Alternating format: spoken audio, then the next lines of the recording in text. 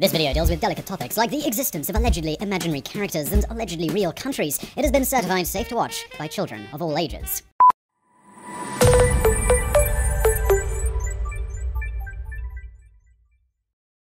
Welcome to a special festive episode of Geographics. In today's exploration, we're going to visit the location that can officially boast the title of Home of Santa Claus, or the HQ of Father Christmas. And no, I'm not talking about the North Pole. It would make very little sense for the Father of Christmas to set up his base there. Are we talking about the magnetic North Pole or the geographic North Pole? It's too vague of a location, which could cause a logistics nightmare anytime a hopeful child attempts to write a Christmas letter. No, I'm talking about the official home of the big man in red and everything Christmassy, the Finnish town of Rovaniemi.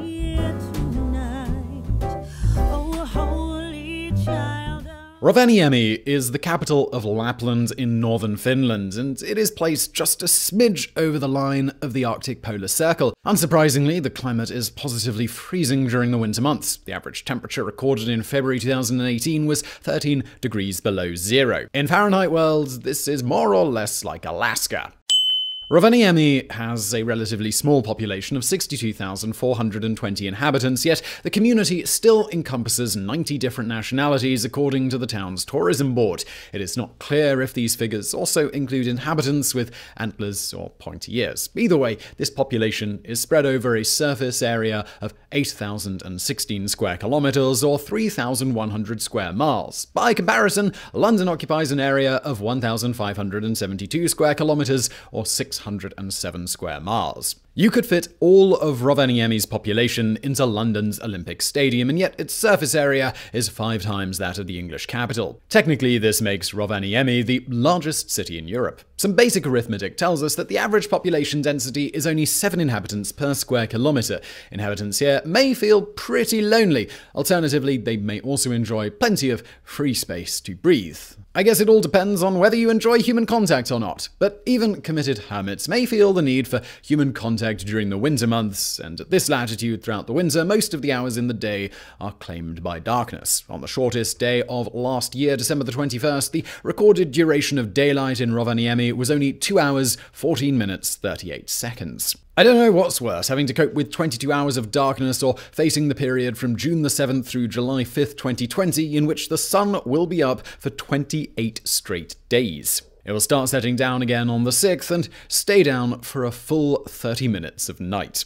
I realize all of this is pretty standard for our friends who live around those latitudes, but for us southerners, it's pretty mind boggling. So, for those of you who do not cope well with extremes of light or darkness, I would recommend visiting Rovaniemi during spring and autumn when daytime and nighttime appear to be relatively normal. Coincidentally, these are also the best seasons to admire the northern lights, according to local photographer Alex Kuznetsov. The northern lights are caused by the interaction of the solar wind, a stream of charged particles escaping the sun and our planet's magnetic fields and atmosphere. As the solar wind approaches, it distorts the Earth's magnetic field and allows charged particles from the sun to enter the Earth's atmosphere at the magnetic north poles. Then, as these charged particles excite gases in our atmosphere, they make them glow in a spectacular display. Kuznetsov's recommended spots to photograph the northern lights in Rovaniemi are the Arctic Garden, the Science Center, and the Museum Arcticum, which hosts exhibitions about the culture of Lapland and life in the Arctic. These are only some of the many attractions offered in Rovaniemi, which contributes to its tourist appeal. Even in photographs, Rovaniemi stands out as a pleasant, tidy, happy city, even if it were not blessed by the presence of a certain Mr. Christmas. And yet, the history of the capital of Lapland is darker than one may expect.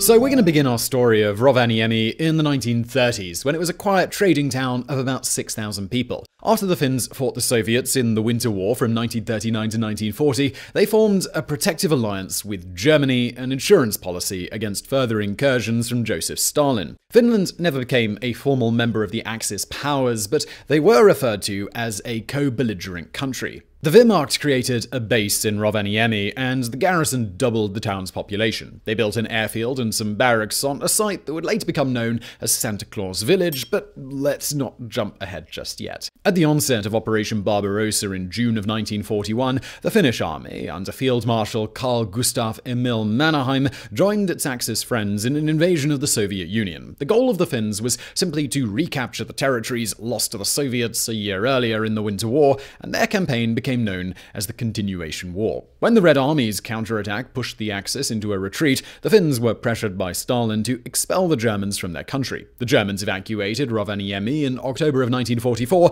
employing scorched earth tactics to burn everything to the ground. About 90% of the town's structures were destroyed. Pieces of burnt wood and metal can still be found in Rovaniemi's gardens. At the time of destruction, most of the residents had already relocated, many of them to Sweden, but 279 died in the process. A further 200 inhabitants died on their return, killed by landmines left by the German army. Nearly 10% of the original population of Rovaniemi had perished as a result of the operation. After VE Day, the Helsinki government began organizing the reconstruction of Rovaniemi, and the Association of Finnish Architects handed over the task to one of its more prominent members, Alvar Aalto. Born in 1898, Aalto graduated as an architect in 1921. His work initially followed the style of Nordic classicism, then modernism, before settling on a functionalist phase. As you might expect, functionalism adopted the principles of user friendliness and functionality as key priorities, which Aalto enriched through the use of organic forms and natural materials.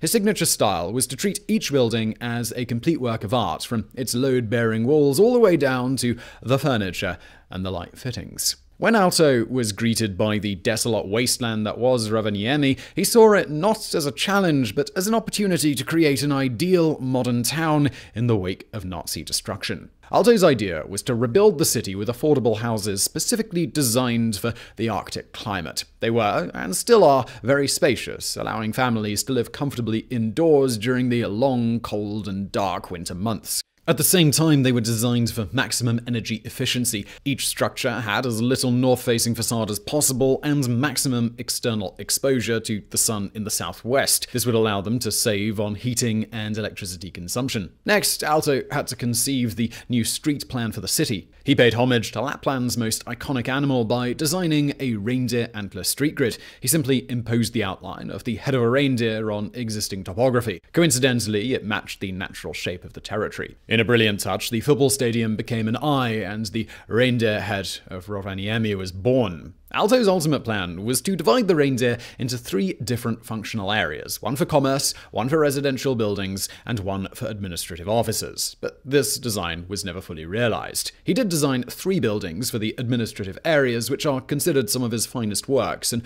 undulating concert hall, a town hall, and a library.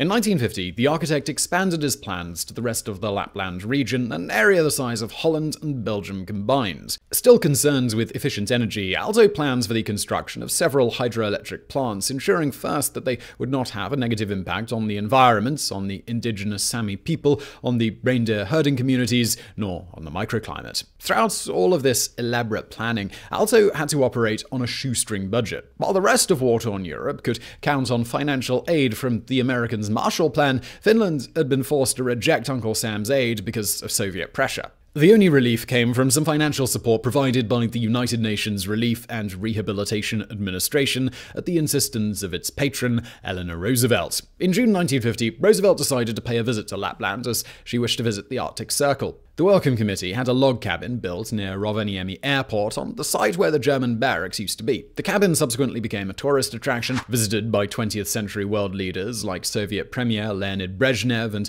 Israeli Prime Minister Golda Meir. Alvar Aalto died in 1976, so he never witnessed the full expansion of his city in the early 1980s. In the decade following Aalto's death, tourism in Rovaniemi finally exploded, thanks in part to adventurous visitors who wanted to visit the Arctic Circle. By 1984, incoming tourism was so regular that a Concorde service was set up to allow tourists to zoom straight into Rovaniemi's small airport. It was around this time that Eleanor Roosevelt's cabin was expanded with additional facilities a few shops, a picturesque post office, and a station for reindeer rides. This became the foundation for Santa Claus Village.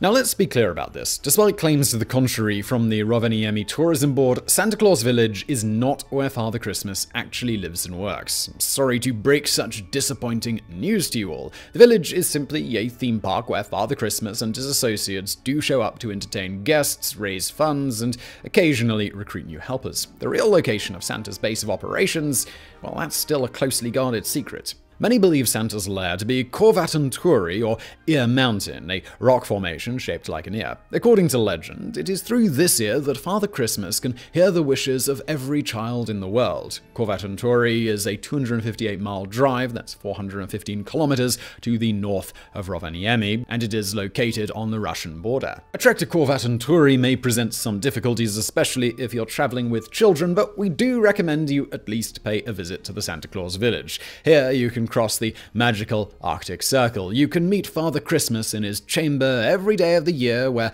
alongside his elves, he's happy to meet new visitors and their four legged friends. The elves will also be on hand at the local post office, which is where Father Christmas receives letters from all around the world. Skeptics may point out that that giant ear at Korvatunturi should be enough to convey the wishes of the children, so why rely on letters? Well, skeptics should open their own giant ears and pay attention. As I've already mentioned, Turi sits on the Russian-Finnish border, meaning military-grade communications equipment and air control surveillance may have been jamming incoming wishes since the height of the Cold War.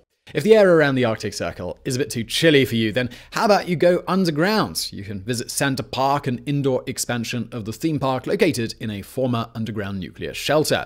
By entering Santa Park, you can access plenty more activities an elf workshop, a magic train, an ice gallery, and an ice bar. But the standout feature is Elf School. After a brief course on toy making, aspiring winter helpers can receive an elf diploma to take home. Some believe this to be some sort of underhanded scheme to identify promising candidates for permanent elf positions, but we've got more on that later on. If you feel like stepping outdoors again, your next stop is Joulukka, the secret forest. Here you can participate in more Christmas crafts and toy making with the help of the elves. If you're lucky, you will get a glimpse of the northern lights, and if you're really lucky, elves will take you to Santa's replica Christmas command center, which may be a sign that you could be considered for a regular elf job. From inside the secret forest, you'll be able to access the Snow Hotel, which is, well, a hotel made of snow. This may not be to everyone's tastes, as even the Rovaniemi Tourism Office admits. It states, It is true that not everyone wants to stay overnight in the Snow Hotel, but the venue is a sight in itself. I also feel we should point out at this point that this video is not sponsored by the Tourism Board or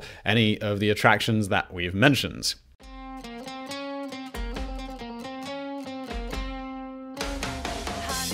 I hope you'll agree with me that during this holiest of seasons, all you really want to do is smell ginger and cinnamon rather than the stench of skeptic conspiracies. But allow me to delve into them right now so that I might deconstruct them one at a time like blocks in a rickety rhetorical Jenga tower. Conspiracy theories regarding Santa and Rovaniemi can be broadly divided into two categories theories that create an alleged truth that is not immediately visible, and theories that deny the existence of obvious truths which are clearly visible. Historiography and propaganda have always regaled us with scores of conspiracy theorists who have denied major historical events. A powerful clique of authors, reporters, and broadcasters have been denying the existence of Father Christmas for generations now, a claim that just flies in the face of logic. These Christmas deniers, desperate to come up with yet another outrageous claim, have recently adopted a blanket approach beyond simply denying the existence of Father Christmas. They could have denied the existence of his operations in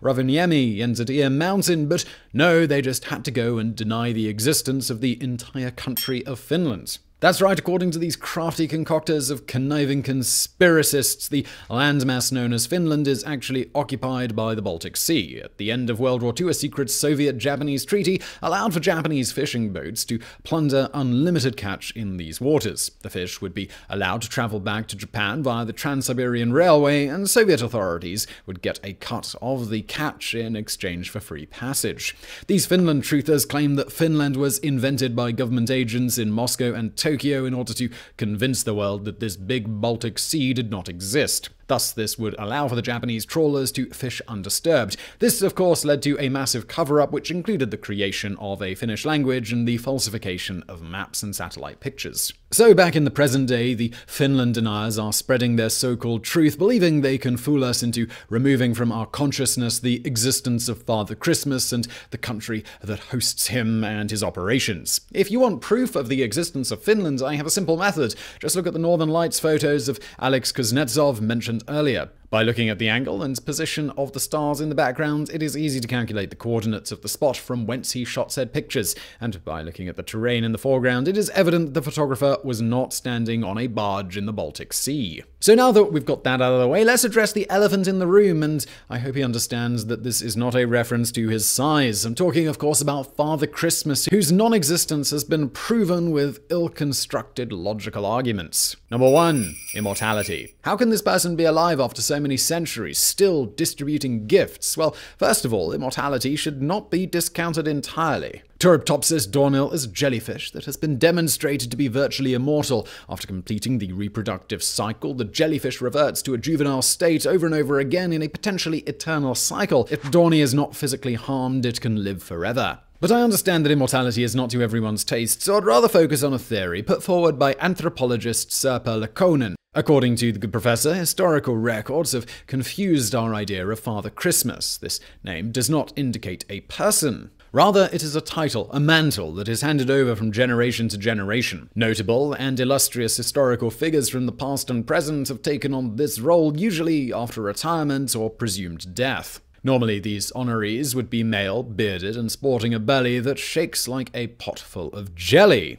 Previous alleged Father Christmases include the advisor to Henry V, Sir John Falstaff, Italian Renaissance man Leonardo da Vinci, who may have contributed to the technology behind the sleigh, King Henry VIII, French writer Alexandre Dumas, the beard was grown later, American author Ernest Hemingway, and so on. Number two, elves. I can understand the skepticism about thousands of elves working in a toy factory all year long. Elves are not, in fact, an autochthonous ethnicity to Finland, unlike trolls, who clearly hail from Norway, where they lurk beneath bridges and in the comment section. But this can easily be explained. In 2016, the scandal known as the Panama Papers blew up on front pages all over the world. It was an unprecedented leak of files related to the legal and not quite legal financial transactions that were managed by an offshore law firm called Mossack Fonseca.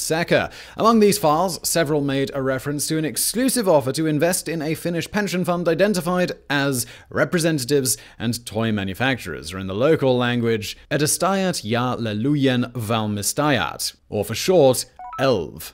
I dare say the Finnish elves are the beneficiaries of such a fund, toy makers and other professionals employed by Father Christmas, and not just your traditional elves. It's a setup that surely favors diversity and meritocracy over the employment of a single ethnic group, regardless of how allegedly skilled they may be at toy making. And speaking of leaks, the Mitrokhin archives of secret KGB files published in 1999 revealed why Father Christmas dons a red outfit. It's not because of Coca Cola's marketing strategy, but rather another pressure imposed by the Soviet Union on Finland at the onset of the Cold War. The Moscow Politburo insisted on a red coat to match their flags, and the tradition struck. All of this clearly makes perfect sense. Number three, nighttime delivery. This is my favorite one. Our friends the skeptics wonder how a single person can deliver hundreds of millions of gifts in a single night in only 12 hours of darkness. Well, my dear know it alls, first of all, it is not just in a single night. Orthodox communities celebrate Christmas on the 7th of January, while children in many Spanish speaking countries receive their gifts on the 6th of January. Just like that, we've tripled the time available. Next, I mentioned the length of the nights around the Arctic Circle, didn't I? It's about 22 hours, so by establishing his operations in the Arctic Circle, Father Christmas has made a perfect choice. From there, he has easy access to the Arctic Circle, and by flying along this parallel, the big man in red can gain 10 extra hours of darkness. And just like that, again, we've doubled the available time. Finally, Father Christmas can and does buy extra time by traveling against the rotation of the Earth, thus ensuring he spends as much time as possible within the dark side of the planet. Time doubled again. Checkmate, skeptics. But we'll end it there as I don't want to fan the flames of controversy. I'd rather just fan the flames of my fireplace. And no, I'd rather not stir the animosity of trolls and just rather stir the eggnog and spice. But I do hope you enjoyed today's video. I hope you thought it was a bit of fun, and maybe you discovered a thing or two about possibly the most festive place on Earth. Whether you are a skeptic or a believer, the story of the rebirth of Rovaniemi is undeniably inspiring. I'll take my leave today by wishing everybody a very Merry Christmas, and as usual, thank you for watching, we'll be back real soon with something from our regular schedule.